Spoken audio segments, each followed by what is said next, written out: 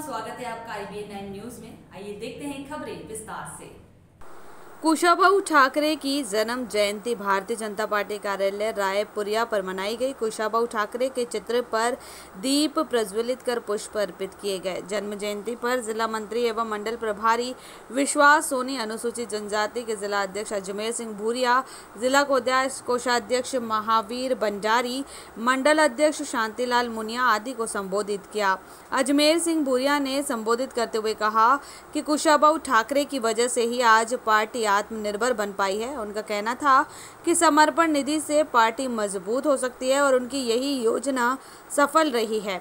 इस अवसर पर नरेंद्र पाल सिंह, सलूमिया, महेंद्र प्रताप सिंह राठौर बेरूलाल पाटीदार, अजय पाटीदार, युवा मोर्चा अध्यक्ष पवन पाटीदार, लाल सिंह चौधरी नाना लाल पाटीदार, जीवन पाटीदार, मंडल महामंत्री कन्नू मेड़ा, तरुण राठौर आदि कार्यकर्ता उपस्थित रहे। पैटलावा से गोपाल राठौर के